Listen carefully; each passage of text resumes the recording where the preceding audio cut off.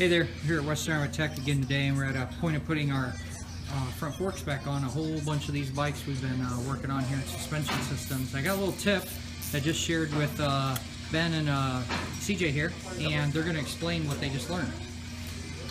Well, a couple aspects that I didn't even think about, Shane brought up, is when you put the forks in, you have to have them set at the absolute same height.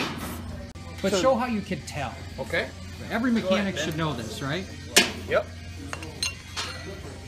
Want to talk it through? Weird. Yeah, when you're putting the axle through, you want to make you want it to go through smoothly.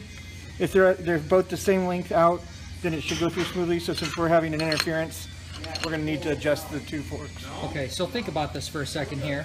What we're saying is that that just won't slip through with a nice slip fit because we're craftsmen, right? Absolutely. You cannot wear a hat like that and not Oh, think you that you're a craftsman. You cannot. Marlon Brando.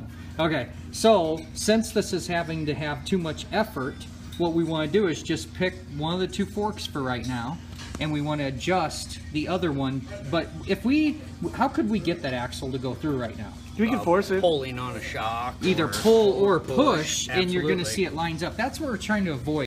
If you've ever going to take a tire off and that axle, when you pull it out, it springs on you, you got other things you need to fix. I was at a, a, a student visit one time at OJT.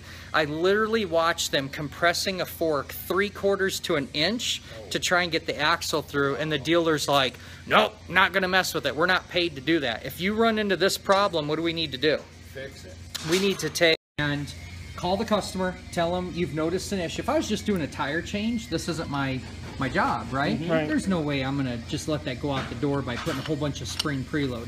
the other thing not. is, is however long that's been that way, what has it done in in relationship to the two springs in the forks? Well, there's one of them is uh, got a different setting than the other one because it's been held in that position for a longer period. Of Could the bike handle ill? Absolutely. We don't. Yeah, there's so many factors in this, but we know this from an every mechanic should know this standpoint. There's really one good solid set of rules, and that's to put things together where they they just slide right into place. You don't have to work so hard. Yep. You got to get big uh, rubber mallets and hammers out. Uh, you might want to rethink it, right? Thanks for coming back. We made our little bit of adjustments here on the forks with our axle bolt in, loosened up all our pinch bolts, found the sweet spot that we got the axle.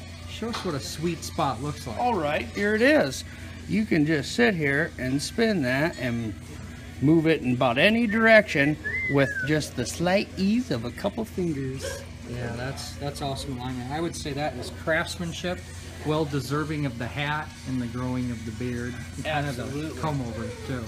Right? Yeah, there we go. There we go. You guys are killing it. That's the kind of work I want to see. Keep it up. All right, thanks guys. Keep wrenching.